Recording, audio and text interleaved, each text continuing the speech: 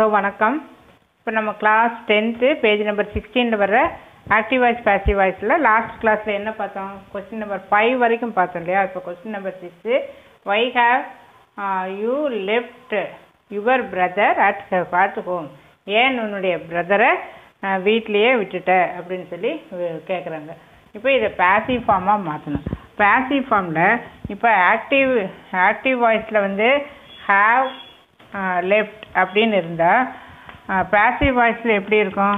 Have been left this is have been left இதுதான். Active வாய்ஸில் have லெஃப்ட்னு இருந்தால் இந்த நடுவில் வந்து பீன் அப்படின்னு சொல்லி இடையில வரும்.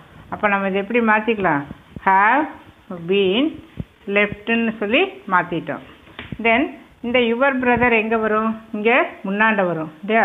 So your brother your brother இந்த ஹாவ் பீன் லெஃப்டை அப்படியே எழுதிக்க. ஹாவ் பீன் லெஃப்ட்டு இந்த யூ எங்கே வரும்? பின்னாண்ட வரும் இல்லையா? அப்போ எதை போட்டு எழுதணும்? பைன்னு போட்டுட்டு அப்புறமா தான் யூ எழுதணும்.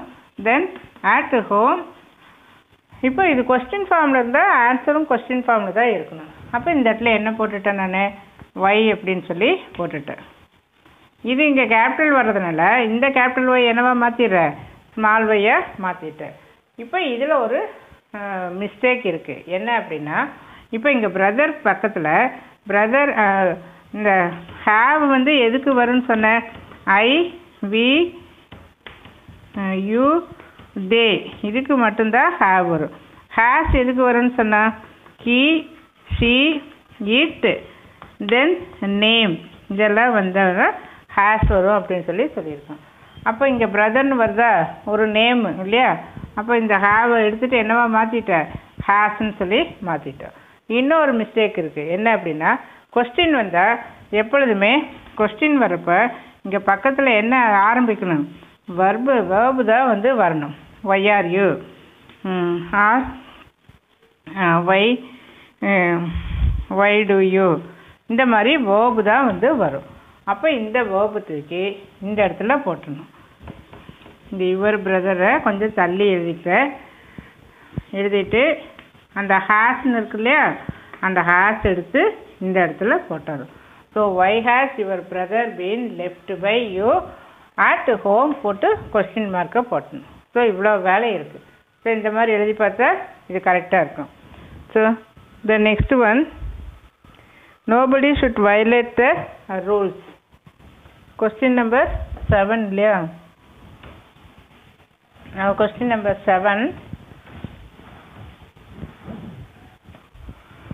nobody should violate the rules. So இதை பேசிவ் வாய்ஸாக மாற்றணும் ஏன்னா கொஸ்டின்லேயே பேசிவ் வாய்ஸ்னு சொல்லி கொடுத்துட்டோம். இப்போ வேர்பு பாரு. ஷுட் வயலேட் அப்போ இது இதில் சொன்ன மாதிரி தான் இதில் will shall may might can could can, could, then, should, would. இது எல்லாமே வந்தால் you are using be be அப்படிங்கிறத யூஸ் பண்ணணும். இதுக்கு வந்து have has had have has had இந்த மூணு வந்தால் பீன் இந்த எல்லாமே வந்தால் யூ ஆர் யூஸிங் பி அப்போ இந்த இடத்துல என்ன எழுதிட்டோன்னா ஷுட் பி தேர்ட் ஃபார்ம் எப்போவுமே லாஸ்ட்டில் தேர்ட் ஃபார்ம் இது வந்து வி த்ரீ அப்படின்னு தான் இருக்கணும். இது போட்டோம். இது இது ஆப்ஜெக்ட் எங்கே வரும்? முன்னாண்ட வரும். இல்லையா? ஸோ இந்த இடத்துல இந்த ரூல்ஸ் இது நோபடி எந்த பக்கம் போகும்? அந்த சைடு போகும். ஸோ த ரூல் ஷுட் இப்போது நோபடி அப்படிங்கிறப்போ நாட்டுங்கிற மீனிங்கை கொடுக்குது. இல்லையா? அப்போ the rules should not be violated அவ்வளோதான் அப்போ இங்கே பை நோபடி அப்படின்னுலாம் எழுதக்கூடாது. ஏன்னா இந்த நாட்டை வந்து நம்ம இந்த இடத்துல கொண்டு வந்துட்டோம். அப்போ இதில் வந்து பேசிவ் ஃபார்மில் இது இந்த இந்த மாதிரி போட்டு வர்றது வந்து வராது. இதோட வந்து இதுலேயே தெரிஞ்சிடும் இந்த பேசிவ் ஃபார்மில் இருக்குது அப்படின்னு வந்துடும் அப்போ இதை வந்து கேபிட்டல் டீயாக மாற்றிக்கிறேன் so the rule should not be violated then next one someone has to initiate it immediately.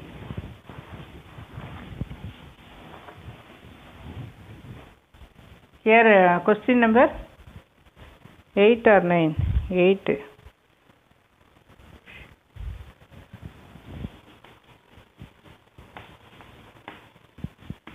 Someone has to initiate it immediately. இமீடியட்லிங்கிறதெல்லாம் பிரச்சனை இல்லை. இங்கே ஃபஸ்ட்டு வேர்பு வந்து பாரு. Someone has to initiate it immediately இங்கே இங்கே என்ன இருக்குது? இனிஷியேட் அப்படின்னு சொல்லி இருக்கு. இல்லையா?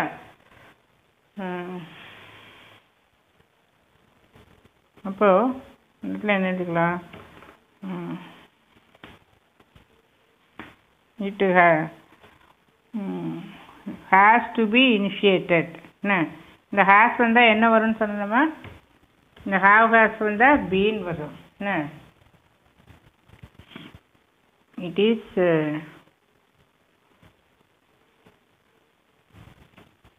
it has been it has been initiated. Uh, by someone immediately. It has to be, uh, it has to be, it has been initiated. Someone has to. இடத்துல வந்து இந்த ஹேஸ்ட்டுங்கிறது ஒரு ஆர்டர் ஃபார்மில் வர்றது இப்போ எப்படி இருக்கலாம் ம் இதான் இந்த இடத்துல இந்த பி வந்து ஈன் வந்து வ வராது. இட் ஹேஸ் டு பி ஏன்னா டூ வர்றப்போ இப்போ நான் நினச்சேன் இந்த வீடியோவை அழிச்சிட்டு கூட எடுக்கலாம். புரியுதா? இது என்ன இருக்குது இதை நான் அழிச்சிட்டு திரும்பவும் எடுக்கலாம். பட் இந்த மிஸ்டேக் நீ புரிஞ்சுக்கணும். நான் இங்கே எழுதுகிறப்பே கொஞ்சம் தயக்கமாக தான் எழுதினேன் இல்லையா? ஏன் ஏன் இப்போ நான் ஹேவ் ஹேஸ் ஹேட் வந்தால் பீன் போடணும்னு சொன்னீங்கல்ல அப்படின்னா இந்த இடத்துல ஆர்டர் ஃபார்மில் வருது. ஹேஸ் டு அப்படின்னு சொல்லி ஆர்டர் ஃபார்மில் வருது. ஸோ அந்த மாதிரி வரப்போ இந்த டூ வேறு வந்துச்சு. இப்போ இந்த டூ இல்லாமல் இருந்துச்சுன்னா நம்ம பீன் போடுவோம். தட்ஸ் வாட் நான் இந்த வீடியோவை அடிக்காமல் எடுக்கிற காரணம் நீங்கள் நல்லாவே இந்த வித்தியாசத்தை தெரிஞ்சுக்கணும் அப்படிங்கிறதுக்காக. ஏன்னா மிஸ்ஸு தயங்கிட்டு இருந்தாங்க அவங்களுக்கே தெரியல அப்படின்னு நீங்கள் நினச்சிருப்பீங்க. வி டசன்ட் மேட்டர் இட் ஆனால் இந்த இடத்துல பார்த்தீங்கன்னா இந்த பீன் வந்து போடக்கூடாது. ஏன் அப்படின்னா இந்த டூ ஃபார்ம் வந்துடுச்சு டூ ஃபார்ம் வரப்போ நம்ம இந்த பீ தான் நம்ம யூஸ் பண்ணணும். So it has to be initiated by someone immediately so இதுதான் வந்து கரெக்டான ப்ரொசீஜர் பீன் வரக்கூடாது ஏன்னா இந்த இடத்துல வச்சேன் எப்போவுமே டு பி அப்படின்னாவே இது வந்து நமக்கு பேசிவ் வாய்ஸில் வந்து வரக்கூடியது. இது வந்து பேசிவ் ஃபார்மில் வரும். To be completed to be initiated to be done இது எல்லாமே வந்து passive form to be done to be completed so to be followed இதெல்லாம் பார்த்தீங்கன்னா பேசிவ் ஃபார்ம் இந்த இடத்துல வந்து சப்ஜெக்ட் ஆப்ஜெக்ட்டுக்கே நமக்கு வேலையே வேண்டாம். இப்படி சொல்லிட்டாவே நீ கண்டிப்பாக நீ இதை செய்யணும் ஃபாலோ பண்ணப்பட வேண்டும் அப்படிங்கிற அர்த்தத்தில் இது வரக்கூடியது.